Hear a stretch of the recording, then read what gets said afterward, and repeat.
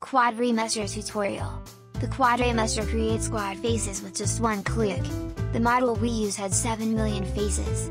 Step by step, we will remesh this model into fewer quad faces. Preparation Go to Preferences Add-ons. Click Install, then activate Quad Remesher.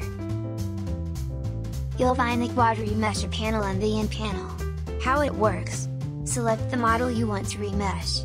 Enter the target face count, then click remesh. Wait a few moments, and see the results.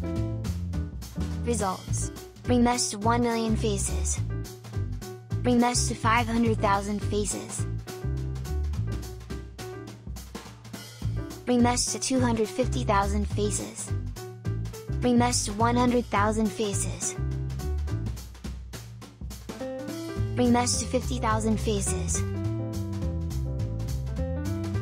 Remesh to 25,000 faces. Remesh to 10,000 faces. This last result is game ready.